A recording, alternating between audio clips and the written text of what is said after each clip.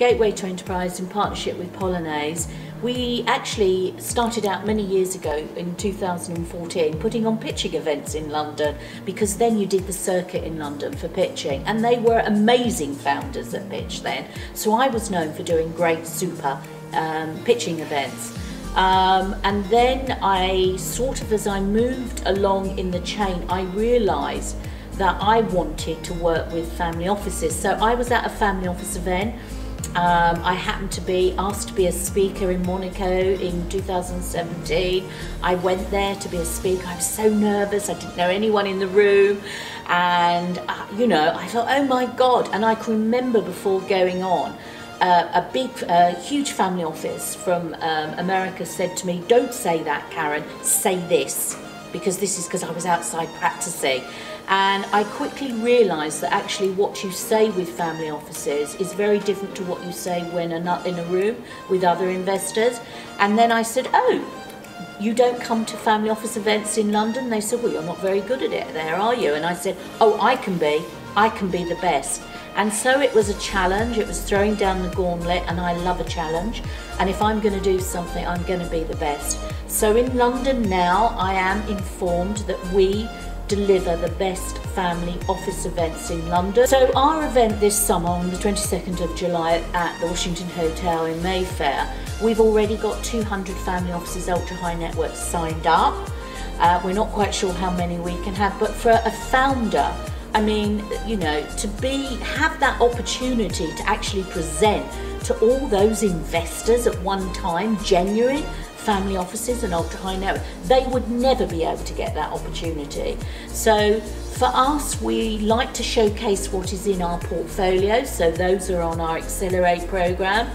Um, some that are in our portfolio and those that would like to do a presentation for 10 minutes of exactly what they're um, raising for. We're focusing on ESG, impact, sustainable technology and projects because that's what my family offices ask for and I like to keep them happy. So if someone's raising, you know, for, you know, gold mining or, you know, they're wanting to raise because they've got a new app that's a dating app, no, it doesn't tick the boxes for that particular event, but we've got others coming up. We've got the 19th of October and also the 9th of December this year, 2021. Uh, I work for TicketPass uh, I met Karen at an event in the Accelerator program about a year and a half ago now. Came from doing a crowdfunding campaign.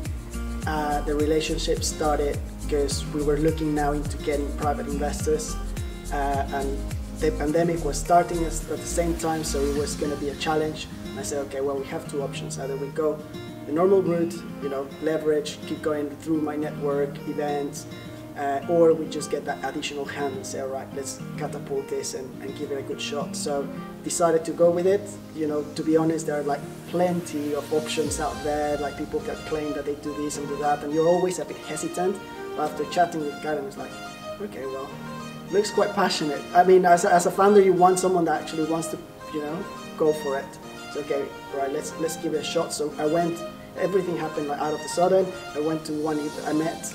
Um, guy, well, Matt, and then Matt got me to the event. Then the event I met Karen, and then from there everything started uh, going going forward. So through Karen, that I met in the accelerator program, then started working together. Then of course the pandemic started, so we were working a bit remotely. Well, we have met, fortunately, in person, so that gave me like a good feeling about it. Then we started working and it was like, okay, we're going to start the challenge of racing. And it was a new thing for both of us, racing remotely via Zoom, via calls and all that stuff. So that's how she introduced me to this family office. And then we started the entire due diligence process, you know, online. They were based in Singapore, I was based in the UK, and uh, yeah, I mean, a few hours difference, but everything flourished. I, I think Karen is another team member. It's not working for you, it's just working with you. I think it's, and I, and I think I really like something and people who see and want to be part of the team and not say, okay, you know, this is a transaction, transactional thing. It's like, okay, you want to raise, here's my network, done, see you later. But it's like, no, this is good. And, and I think it's nice feedback as well when Karen said that actually you're a little bit of a different founder from the ones that I you know normally get pitched. I actually want to work with you. That kind of gives you the ideas like, all right, well, this does make sense. Like, it's different the, the approach of, of getting to other investors.